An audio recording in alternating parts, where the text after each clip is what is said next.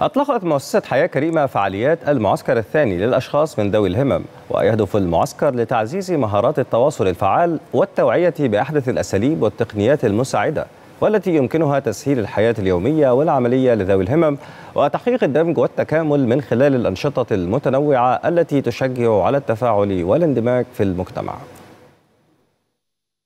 إحنا موجودين النهارده في محافظة الإسماعيلية مدينة فايد. بنشارك من مؤسسة حياة كريمة بالمعسكر الثاني للأشخاص من ذوي الإعاقة. ده المعسكر الثاني اللي بتعمله مؤسسة حياة كريمة بهدف دمج ذوي الإعاقة في مختلف مجالات المجتمع. هدفنا الأساسي النهارده هو تعزيز مهارات التواصل الفعال ما بين أشخاص ذوي الإعاقة وبعضهم البعض وما بين كمان الاشخاص ذوي الإعاقة والعاملين معاهم وأولياء أمورهم. بنعرفهم عن طرق التواصل إزاي يتواصلوا على حسب القصور اللي موجود عند كل شخص فيهم.